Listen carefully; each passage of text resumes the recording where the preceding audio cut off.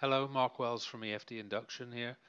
Uh, it's just a couple of slides and videos to demonstrate a test we did recently where we mounted a, an HHT with a fairly simple concentrated coil onto a, a Gullco KAT to demonstrate or trial actually how we could scan around a tube or a pipe and without having some complicated spring-loaded mechanism to maintain coil gap we could use the Gullco automatic height adjustment system.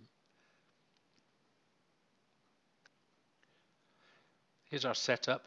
We had a 20 inch diameter, 20 millimeter wall thickness pipe, 160 millimeter wide coil, concentrated.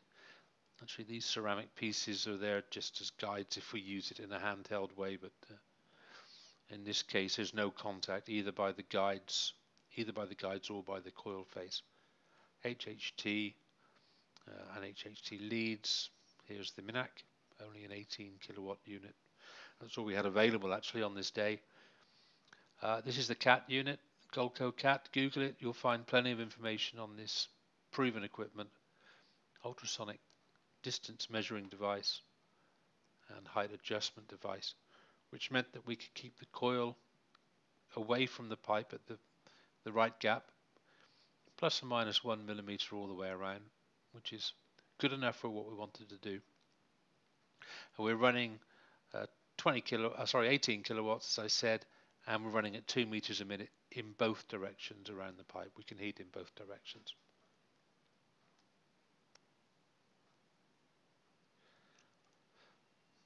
This video is showing you the, the Gullco height adjustment unit. And here is where the ultrasonic device is attached, quite well protected in this welding nozzle. And you can see that just by placing an object, or as the, the nozzle would go over something of a different height, it would raise or lower to compensate for that. And so far, the tests we've done, we can't see any effect on running that next to the induction coil.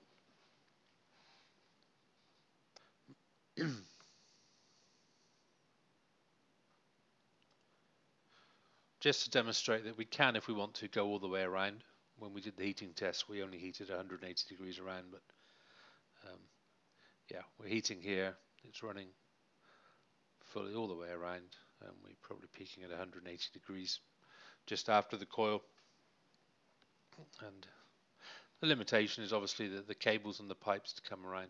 We speeded up the last bit of the video just because it would be rather boring otherwise.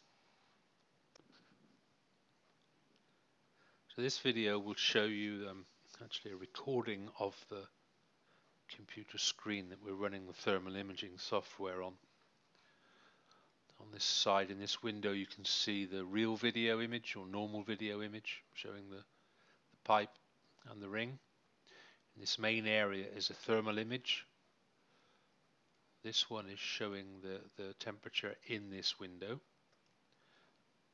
here and on the right side we can see the temperature displayed in area 2, 3, 4, 5, 6.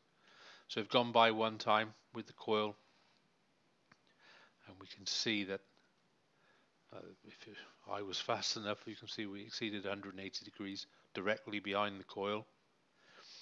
And now with time to soak in a little bit of conduction then we're left with the residual heat around 80 degrees and now we come back. Remember we're only doing 180 degrees rotation here. So we're going down to the bottom stopping and then returning. And now our peak went over 200 and the residual heat around 120 um, now I've speeded the video up because well I don't want to bore you. This is the third fourth passes residual heat. Again is risen and now 170 plus on, on pass 5 we're around the 200 degrees and on the last pass pass 6 we're up to 220 degrees plus. Now we could scan again. We could also make a coil wider or narrower and we can also use different speeds, slower or faster, and we can use more or less power. But hopefully this demonstrates just how simple and easy it would be to have a non-contact induction coil running reliably around a pipe or tube um, and if we get the if we balance speed, power and distance we know we get the same repeated result every time.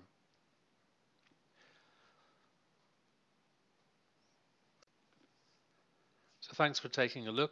Uh, I'd like to say thanks to Brendan Gallagher from Gullco UK for assisting us and loaning us the, their KAT system for these tests. Thanks. Bye.